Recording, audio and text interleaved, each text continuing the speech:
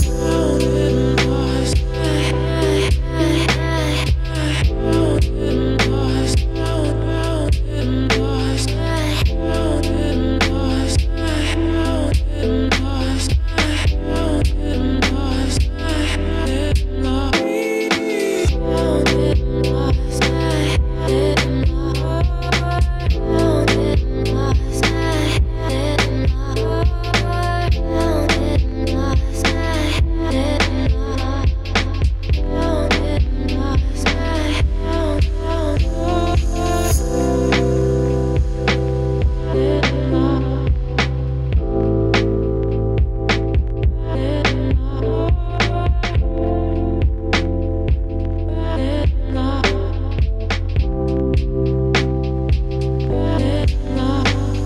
friends, what's up? Welcome back to my channel. Today I'm going to be doing an updated inventory storage tour. So if you're new here, welcome. My name is Jenna and I'm a full-time reseller online. I sell on the Poshmark app and I mainly sell clothing, shoes, bags, accessories, etc. And it's my full-time job. I absolutely love it. So like I said, welcome if you're new. Now today's video is going to be all about how I store and organize my inventory. I am full-time. I have a lot of items. I currently have just over 1,100 active listings on Poshmark and some of those listings are multi-quantity. So I might have more than one of the same item. I probably have closer to 2,000 items in my inventory and I store everything at home where I work and I want to have everything easily accessible and ready to go when I sell it. So I have come up with a system. I've had a system in place for quite a while, but it has definitely evolved over the years. I actually did an inventory storage video when I first started this YouTube channel a couple years ago and while some of it is the same, things have definitely changed since then and even before I had YouTube, I had a totally different system as far as how I stored my inventory so I wanted to update you guys and let you know where I'm at right now because I really love the system that I have in place. I finally feel like everything has a home and I have not lost an item in a long time. There is definitely a time way back when I first started reselling and let me know if you guys have ever been there where I sold something and then I was frantically looking all over the house because I had no idea where I put it. I used to just have stuff in all different areas of the house, in different rooms, no organization whatsoever. So like I said, I've kind of evolved a system over the years and it's definitely worked for me. Today I just wanted to share my system with you all in hopes to inspire you or give you some ideas on how you can store your inventory because let me tell you, it is so much less stressful not having to worry about where your items are and also just everything having a place in a home um, instead of it being out and everywhere really keeps the stress levels down, especially for me. And every single thing that I'm showing in today's video, I'm gonna be linking in the description box down below. So definitely check out the description box. I will link absolutely everything. If I forget something or there's something you see that I didn't link, let me know down in the comment section. I will let you guys know, um, respond to the comments comments and also add it into the description box. So I really appreciate if you catch something that I miss, but yes, I'm gonna link everything. So if you want to get any of these exact items for yourself, you can. Nothing in this video is sponsored. Everything I purchased with my own money. I have tried all kinds of different things and these are what work for me. So without further ado, let's get into the tour. Starting off the tour in my inventory room slash office, this is where I keep a majority of the inventory because most of my listings are clothing and I like to have them put away in these bins. I get these bins at Home Depot. The shelving is also from Home Depot. It's just a really nice quality utility shelving, really easy to put together, lightweight but sturdy. And I started with that first um, four shelves and then I have expanded and I now have this one in the corner. And then I actually have some more in another room.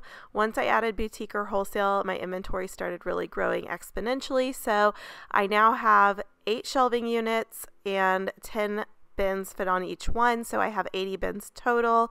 As you can see, they just fit really nicely. They're the perfect size together, and it's very easy to slide them in and out. That's why I like having them on shelves versus just stacking them on, on each other because I don't want to have to take off more bins than I need to.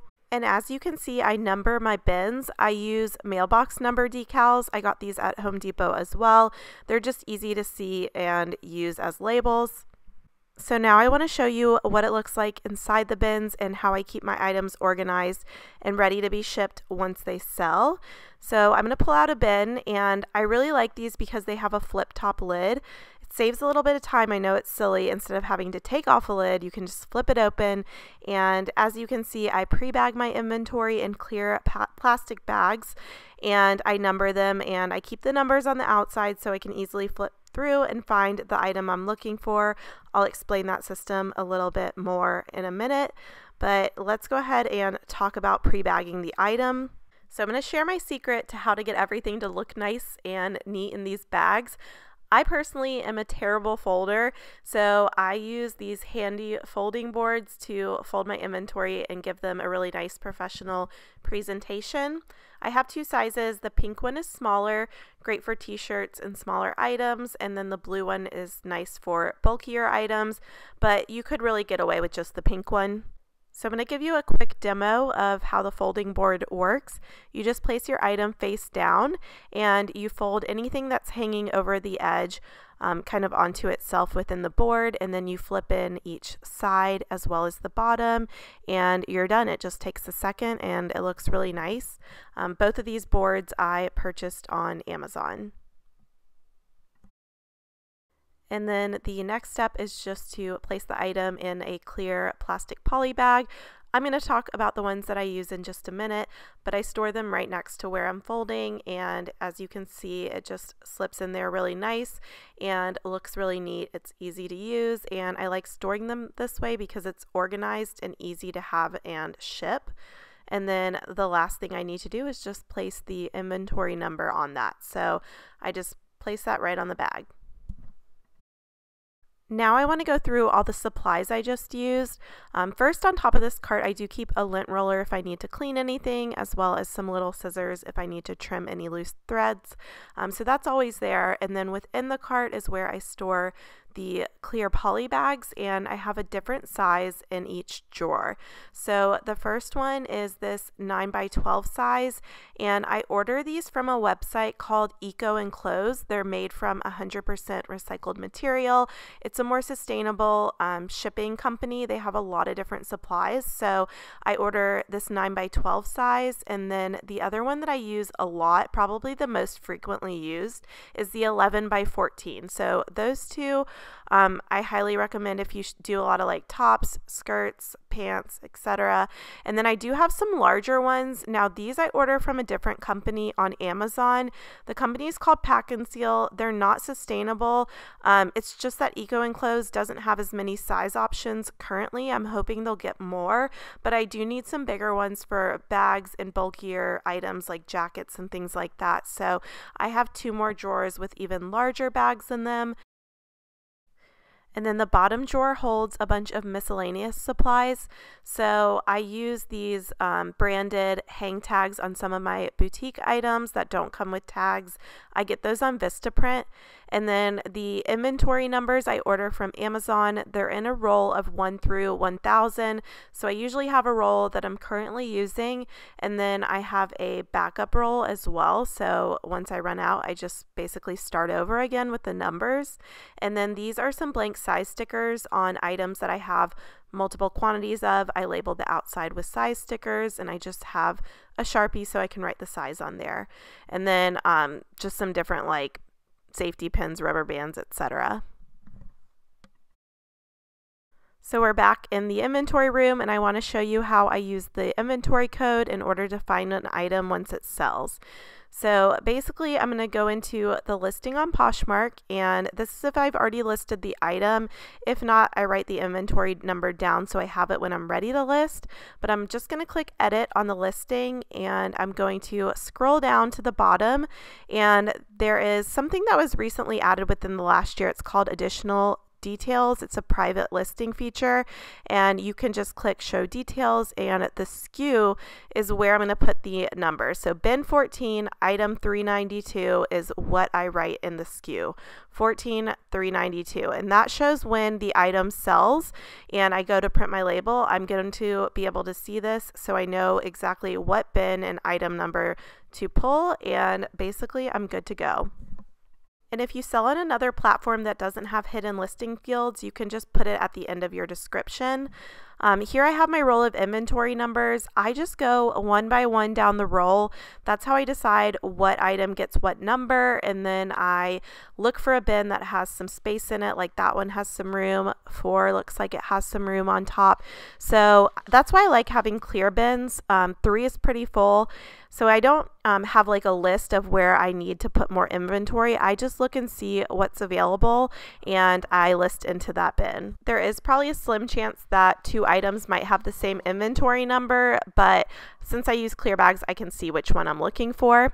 And then for items I have multiple sizes in, I do not put an inventory number on these bags. I only put a size sticker because it's easy for me to see the item. I have a bunch of them. I really just need to know I'm picking the right size. So that's why I put the size sticker on there. And then I'll only put the bin number. So for instance, 27, that will go in the SKU field. That's all I need. And I did want to mention Home Depot changed the lids of these bins. So this is actually the newest flip top lid. It doesn't have quite as many little interlocking things, which I think these are easier to open and close. That's probably why they switched it. So if you're looking at Home Depot, these are still the same bins as the other ones I've shown. And a really common question I receive is how many items do these bins hold? And obviously, that's going to vary on the size and bulkiness of your items. So I would say I probably average around 40 to 45 items per bin. If they're smaller t shirts, I can probably fit more. Bigger sweatshirts, it's going to be less, but I store really bulky stuff in another area. Now we're back in the inventory office area where I have my desk and just some basic supplies on there. That's where I do my shipping. And I have a closet in this room, and this is where I do store some of those bulkier items. So I'm just going to open this up and as you can see, I have quite a bit of room in here right now. I do have a lot of empty space, um, but I do store like bulkier jackets and things in here because if I were to fold those, it would take up way too much space in a bin. So I just keep these hanging in here and um, I don't have too many right now since we're about to transition into spring, but I do have room for more. And then up on this shelf, I have some wholesale shoes I have that are just new in box shoes. I have a lot of room on these shelves as well. If I needed to have more shoe storage than the other area I'm going to show you, I would put them up here, but right now I'm good on space. And then just down below is where I keep my reusable IKEA bags and stuff that I use for shipping, um, for carrying my shipping. It's all in this laundry hamper. And then behind that, I just have some packing paper. And then on the other side of the closet is where I store my shipping supplies. So I have my priority boxes up top, and then I have this large drawer set from Home Goods, and I store the rest of my supplies in here. I have some tissue paper and packing tape, and then I have my poly mailers inside. I order branded poly mailers from Sticker Mule. I've talked about that before. Um, I'm looking into some other options right now, but I really enjoy using those. And then I have excess of the clear poly bags in here because I ordered them in bulk.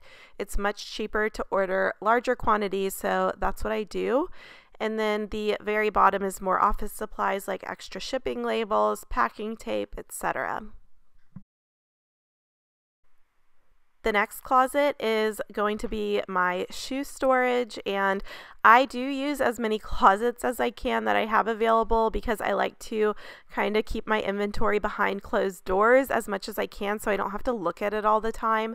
But I do store um, pretty much all my shoes in boxes ready to be shipped. I've talked about this before. I mainly use the priority mail shoe boxes, so I just have them stacked up and each one has the pair of shoes in it. And I do pre-wrap my shoes as well, just like I did with the clothing. I use the clear poly bags because I find it just keeps them clean and organized and I like the way it looks. It gives a really good presentation and I'll stuff the rest of the box with packing paper, the brown packing paper that I showed in the closet before and that way the shoes don't move around. And then I just put numbers on the boxes like I do with clothing. So I'll put that number in the hidden SKU listing field so I know which shoe box has the shoes I'm looking for. So again, it's just really simple system. Um, if the shoes have like a shape I don't want them to lose, like these, you can't really see it, but there's packing paper or tissue inside the shoe. And again, I'll just use the clear poly bag on the outside. Now, of course, all shoes aren't going to fit in that size box, so I do have some larger boxes down here at the bottom. These are the large shipping box. I think it's 12 by 12 by 8. The number is still on the outside, but as you can see, these fit larger shoes like boots, so I do store them that way if possible and I stack them again on top of each other. Um, I keep all these open in case I need to like bundle things or put other items in the box. And then this pair for instance is too big even for that box so I just put the sticker on the outside and I'll find a box for those when they sell.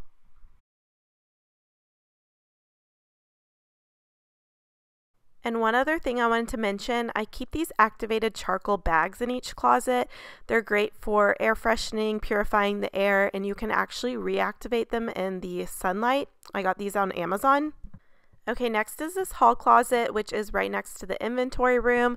And this small closet is jam-packed. You're about to see how much I fit in here. And I have a variety of items. So in the top corner, I have some hats that I'm selling as well as a hat form. And then a lot of handbags. So I actually just listed a ton of new handbags. So that is pretty full. I do try to sort them by size. So I have like smaller bags and wallets. And then the next shelf up, I have like medium bags and then large bags at the top. Although I probably could come up with a better way to keep these organized. I do keep them in the clear poly bags as well, but I don't put any kind of number on them. They are pretty easy for me to spot which one sells. So I just have them as is. And then, yeah, that works for me, although it is pretty full right now. And then down below that, I have some jewelry items. These are pretty much all boutique or wholesale jewelry items, and I have them sorted by type. So I have like earrings together, I have some watch bands, and um, I have them separated in little compartments. I got these at the container store, and I like it because you can put these dividers in between the sections. And then down below, I wanted to utilize the space down here. So I got these stacking bins again from Container Store, and I have like headbands, hats, scarves, just more accessories. And again, everything is bagged. I just think it keeps things neat and clean. And then across the bottom, I have some boutique bags. And then the final little container over here has some belts in it. Um, I store most of my belts in a different area, but these are ones that need to be bagged. So yeah, I just have everything um, in its own little home. And trust me, it wasn't always like this, but I'm really happy it is now. And then the last closet is in my room where I take photos and have the other bins. So I'm just trying to give you a little perspective on my workspace. But this closet has the rest of my accessories. So across the top on the shelf, I have the boutique hats that I sell. So I just have those stacked up. And then the main attraction in this closet are the belts. I love selling belts. If you've been following me, I talk about them all the time but I struggled for a little while figuring out how to store them, but I have finally found that these rings work really well. I got these at Container Store. I believe they have them on Amazon as well, but it's really easy just to slide off the one that you need. So I have quite a few because I don't want to keep too many on one ring. And what I do is I sort them by type of belt. So I'll have like embroidered belts together, tooled belts together, ones that have like chain or embellishment together. That way, if I sell a belt, I kind of know which ring to go for instead of having to look through all of them. So, um, yeah, this has worked really well for me and I love it. The other thing in this closet is jewelry. These are jewelry items that I found at, you know, estate sales, thrift stores, etc. And I found it really handy to keep it in this organizer. I also keep sunglasses at the bottom of the organizer. This is from the container store and it's double sided. It has quite a bit of room in it. But then for most necklaces, I actually hang them next to it on command hooks. So I just have these organized by like shorter necklaces on top, and then I have longer ones on some slightly bigger hooks on the bottom. So those are just easy to take out when they sell. And then this isn't really inventory related, but this is how I store my cleaning supplies and tools and things I use all the time. I have an over the door clear shoe organizer and this is just super handy and helpful to be able to grab what I need. I usually keep my most used tools like eye level or where I can grab them easily, but yeah, I wanted to share this in case it might help someone else because I absolutely love having everything right there.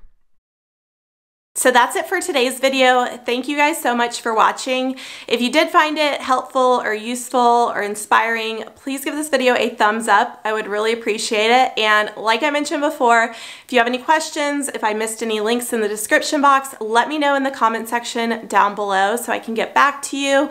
And please subscribe if you're not subscribed already. I will see you guys in my next video. Bye.